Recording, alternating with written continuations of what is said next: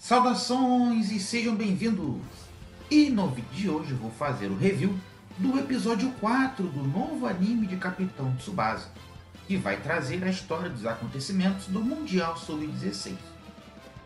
Se você não sabe o que está acontecendo e chegou agora, eu criei uma playlist aqui no canal com tudo o que você precisa saber sobre esta nova temporada. Vai estar na tela final ou na descrição do vídeo o link para essa playlist.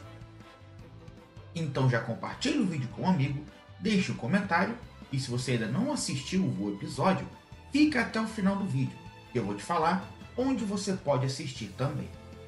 E antes de eu começar o review, deixe o like para ajudar o canal.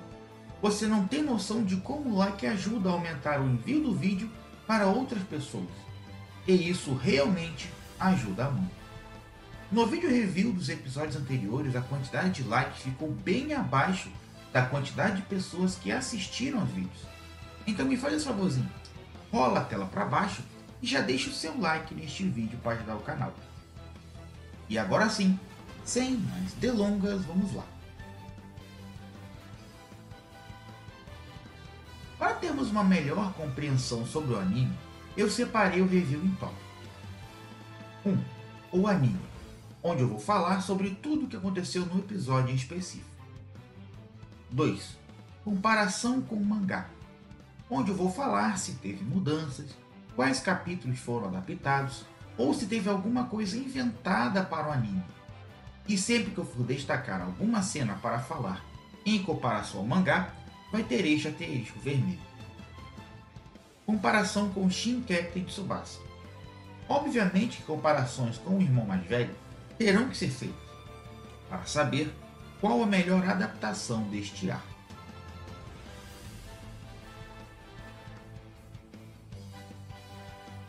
O review de hoje vai ser um pouco diferente do que vocês estão acostumados nos meus vídeos.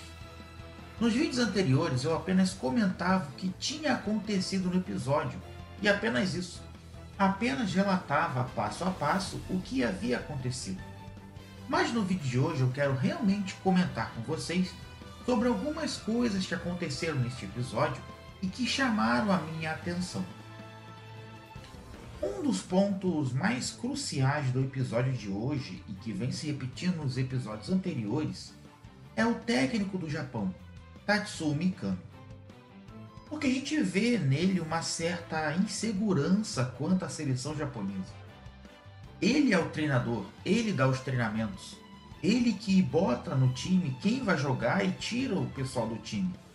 E mesmo assim, quando o Tsubasa chega para poder enfrentar o Hamburgo no episódio anterior, ele não coloca o Tsubasa em jogo porque dois jogadores não queriam. Sendo que, se eu não me engano, haviam 17 convocados.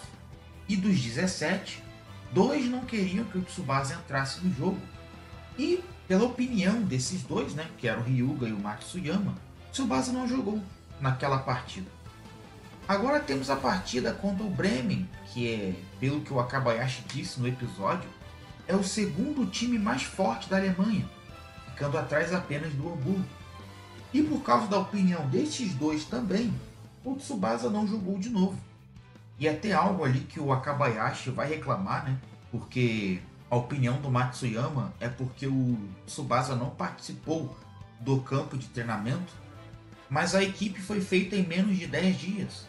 Então, insistir nisso é burrice, porque ele vai ficar com o melhor jogador deles no banco de reservas por um motivo tão fútil. E nessa hora, o técnico Mikami deveria colocar a opinião dele e o que ele pensa acerca disso acima dos demais jogadores porque todos queriam que o Tsubasa jogasse, menos o Ryuga e o Matsuyama. Só que ali eu vejo um pequeno entrave do time, porque para escolher o capitão, quando o Tsubasa não estava presente, o Mikami fez com que todos os jogadores votassem em quem eles queriam que fosse o capitão do time. Daí teve 12 votos para o Ryuga, se não me engano, 9 votos para o Matsuyama e teve um voto para o Ishizaki, né? e foi ele que votou nele mesmo. Coitado do Ishizaki. Então, toda, todos aqueles jogadores que votaram, eles confiaram o seu voto, né? Ou no Ryuga, ou no Matsuyama. Só que daí, estes dois jogadores, justo esses dois, que ganharam o voto de confiança de toda a seleção para serem os capitães, eles tinham uma opinião contrária ao jogo do Tsubasa, ao Tsubasa participar daquelas partidas, porque ele não estava nos treinamentos. Daí como fica a cabeça do Mikami agora? Os dois jogadores não querem que ele jogue. O resto do time quer que o Tsubasa jogue. Só que todo o time votou naqueles dois que não querem que ele jogue para que ele se torne cap... os capitães do time, né? Ryuga é o capitão e Matsuyama é o vice-capitão. E agora, o que fazer? Tanto que o Akabayashi mesmo vai questionar o Mikami, questiona o time do Japão, porque por esse motivo tão pequeno, eles deixam o Tsubasa de fora da partida. E se eles não colocarem os melhores em campo, eles vão perder uma partida atrás da outra. E é isso que acontece no episódio. O Japão perde novamente de 3 a 2 para o Bremen, e pela partida fraca do Japão, a seleção da Itália se recusa a jogar com o Japão, porque eles não veem é, benefício nenhum. Ah, o que, que eu vou ganhar jogando contra esse time que já perdeu duas partidas seguidas? A Itália se recusou a jogar contra o Japão, visto que o Japão não estava nos seus melhores dias. Matsuyama e Ryuga treinaram até a noite. Ryuga estava com a perna machucada porque estava treinando com a bola três vezes mais pesada que o Kira deu para ele. E o melhor jogador deles estava no banco de reserva. Precisou o Tsubasa pegar uma bola de futebol e enfrentar toda a Itália e ainda marcar um gol no goleiro número 1 um da Europa, naquela faixa etária que é o Hernandes, para o Ishizaki ter que implorar e ajoelhar e todo mundo pedir para o Tsubasa jogar. E o Japão sem Tsubasa, infelizmente ele perde mais da metade da sua força. Porque o time ideal do Japão, que todos, até mesmo Mikami e o Misugi tinham planejado, o Tsubasa era uma peça fundamental, porque ele iria encaixar no meio campo e o Matsuyama, que estava no meio campo, iria levar a liderança e a garra e a determinação dele para a defesa. E isso iria aumentar a força da defesa Tsubasa no meio do campo, no meio de campo, ia controlar o meio campo e iria fortalecer o ataque, pois os passes e as jogadas criadas pelo Tsubasa, com todo respeito ao Matsuyama, são melhores que o do Matsuyama. Então tem esse entrave porque o time não consegue encaixar porque o espírito de equipe deles está abalado. Porque o melhor jogador deles está no banco de reservas. E agora eu volto ao personagem principal disso tudo, que é Tatsuo Mikami. Até mesmo na partida contra o Bremen, ele se pergunta se o que ele está fazendo está certo, porque ele sempre respeitou os jogadores, sempre tentou fazer os jogadores serem independentes e sempre respeitou a vontade deles. Só que a vontade, não digo de todos, né, mas do espírito de equipe, não havia um 100% de aceitação para o Tsubasa jogar. E esse, essa falta de todos quererem que ele jogasse estava levando o time para baixo. E ele se pergunta se ele deveria ir contra os capitães do time e colocar o Tsubasa na partida ou não. Bom, a sorte né, que no final da partida ali contra o Bremen, no final do, do enfrentamento, na verdade, do Tsubasa contra a Itália, eles fazem as pazes, vamos dizer assim. O Matsuyama disse que não tinha nada contra o Tsubasa e que não queria que ele jogasse exatamente por ele não ter participado dos treinamentos. Mas vendo ele jogar ali contra a Itália e marcando gol no Gini Hernandes, ele disse que nem precisaria do Tsubasa nos treinos, que ele realmente faz por onde para estar na seleção japonesa.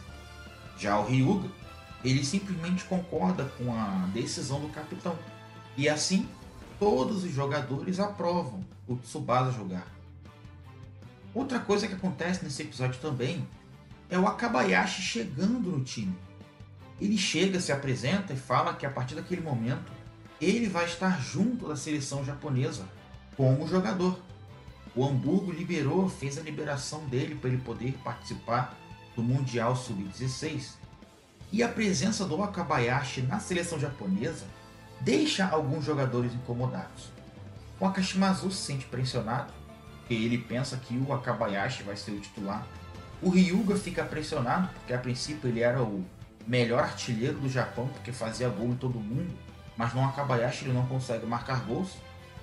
Então a presença dele ali, a princípio, vai incomodar muita gente. Mas a gente vai ver no futuro que a presença dele ali é extremamente necessária para a evolução desse time japonês. E o último ponto que eu quero falar aqui sobre o anime em si é que essa posição arrogante, essa posição chata, essa posição irritante do Akabayashi tem muito a ver ali com o técnico Mikami. Né? Falei primeiro do Mikami, depois falei do Akabayashi, e agora eu vou falar dos dois juntos. Porque no início do episódio, é, o Akabayashi ele pensa né, que o Mikami falou com ele para ele né, instigar os jogadores japoneses, porque ele teria que demonstrar para eles a verdadeira força do futebol europeu. E o Akabayashi sabe muito bem disso. Quem viu o flashback dele nos episódios passados sabe que ele, para estar defendendo e ser um bom goleiro como é hoje, ele sofreu bastante na mão dos alemães. Os caras tinham um chute mais forte, chute mais rápido, e o Akabayashi teve que treinar além da conta para poder se colocar no mesmo nível do que eles, porque ele chegou no nível abaixo. Então ele conhece o nível do futebol europeu. E é isso que ele estava tentando passar para o Japão. Tanto que o Mikami fala né, que ele queria que o Akabayashi fizesse essa demonstração de força para eles, para eles verem como o mundo é grande e como lá tem vários outros jogadores tão bons ou até melhores do que eles. Porque eles venceram todas as partidas dentro do Japão e estavam, não digo se achando, mas eles viam com a confiança lá em cima. Mas aí eles levam um choque, uma goleada avassaladora, eles têm que se reconstruir, né? E recomeçar do zero, para aí sim eles se reencontrarem com o seu futebol e vencerem aquela adversidade. Por fim, eu não sei se o Tatsuo Mikami ele é um gênio incompreendido ou ele não tem ali o, o que é necessário para estar na frente da seleção. Pois a gente vê que a maioria das decisões quem toma é o Misugi, ele apenas acompanha Nessa questão do Tsubasa, ele tira o melhor jogador porque o time não queria que ele estivesse em campo, sendo que com isso o Japão acumulou duas derrotas seguidas. Não digo que o Tsubasa iria mudar a partida contra o Hamburgo, mas a partida contra o Werder Bremen era, era vencível. Mas, por Tsubasa não estar em campo, eles acabaram com outro resultado negativo. Por isso eu peço que você deixe aqui nos comentários, após essa minha reflexão sobre Tatsuo Mikami ou Akabayashi, o plano dos dois para mostrar para o Japão a verdadeira força europeia, o que você acha do Tatsuo Mikami como treinador? Diz aqui nos comentários.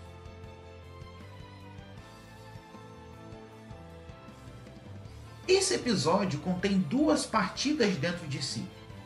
E como essas partidas foram retratadas no mangá, ajuda muito o desenvolvimento do episódio, pois foram partidas mais paradas, sem muitos movimentos, apenas com os acontecimentos sendo narrados, ajudando em muito a animação das partidas. Aqui eles puderam gastar quase todo o orçamento do episódio para o enfrentamento entre Tsubasa e a seleção japonesa sub-16. E fala real, essa parte do anime ficou muito boa com a animação bem fluida e de muito bom gosto. E novamente, a gente percebe o esforço da equipe de animação para tentar, com baixo orçamento, trazer uma animação de qualidade para a gente. Com isso, infelizmente, uma hora ou outra sempre escapava algum jogador meio estranho e com cara de maluco. Nada que tire o brilho do episódio, mas a gente percebe que, mesmo em cenas estáticas, alguns desenhos destoam da normalidade.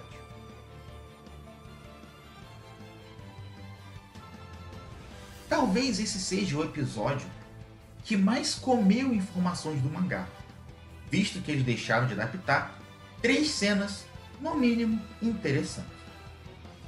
A primeira é mais uma cena que explora o romance em Capitão Tsubasa, com Kumi, Yukari e Sanai conversando sobre como Kumi vai se declarar para Tsubasa, e Yukari rindo das duas apaixonadas. A segunda é imediatamente após a partida entre Hamburgo e Japão, que mostra a dupla argentina, Pascal e Dias, se encontrando com o técnico da seleção dele, Barbas, que perguntou como foi o jogo e se eles prestaram atenção no camisa 10 da seleção japonesa, pois ele recebeu uma informação de que aquele jogador seria muito perigoso para as seleções sul-americanas. Os dois respondem que o Japão não tinha jogadores bons e perguntam quem havia lhe dado essa informação sobre o Japão. E o técnico respondeu que foi um antigo amigo, representante da seleção brasileira, Roberto Rum. Já a terceira é uma cena que envolve Schneider e sua irmã, com eles voltando para casa e conversando sobre seus pais. Neste episódio, eles terminaram de adaptar o capítulo 88 do mangá, começando de novo do zero, e começaram a adaptar o capítulo 89, que tem como título Outro Jogador Forte, em suas primeiras páginas. Tirando a parte que não foi adaptada, tudo o que está neste episódio está no mangá. Eu apenas me pergunto como eles vão mostrar o enfrentamento de Misaki e Pierre na escadaria, visto que ele já recebeu a camisa 11 de Katagi e está prestes a fazer uma coisa que, se eu falar aqui, pode ser considerado spoiler então eu não vou falar. Acho que temos uma adaptação ganhando pontos para ser a melhor adaptação do Mundial Sub-16. Neste capítulo, nós temos o tão aguardado flashback do Akabayashi, onde conta parte de sua história quando chegou na Alemanha. Parte essa que nem sequer é mencionada em Shin Captain Tsubasa. A título de comparação, com essa mesma quantidade de episódios, Shin Captain Tsubasa adaptou quase totalmente o capítulo 90 do mangá. E isso deixando muitas partes de fora da história. Já Capitão Tsubasa 23, em quatro episódios, acabou de chegar no início do capítulo 89. No quesito adaptação de história, Capitão Tsubasa 23 tem uma vantagem enorme, mas no quesito traço da animação, parece que Shin Captain Tsubasa não quer jogar a toalha, pois todos os personagens são muito bem desenhados, algo que em Capitão Tsubasa 23 às vezes deixa a desejar. E esse foi o vídeo de hoje. Muito obrigado por assistir até aqui. Se ficou até o final do vídeo é porque você quer saber onde assistir Capitão Tsubasa 23. Eu já falei nos reviews dos episódios anteriores, e vou falar nisso de novo. Entre no nosso site. Lá vai ter as atualizações periódicas do anime, até estar legendado em português. Vai ter a RAW japonesa, depois legendado em espanhol e por fim legendado em português. Certo? Deixe aqui nos comentários o que você achou dessa review deste episódio. Se a parte que eu falo do anime agradou vocês ou vocês preferem como eu fazia nos episódios anteriores, apenas relatasse tudo o que aconteceu num resumo do episódio. E esse foi o vídeo de hoje. Muito obrigado por assistir até aqui. Se ficou até o final foi porque eu estou. Deixe um comentário, compartilhe com um amigo para assistir também e deixe o like para ajudar o canal. Estamos em busca de uma meta e o seu like nos ajuda dia a dia a ficarmos mais próximos dela. Muito obrigado por assistir e até a próxima!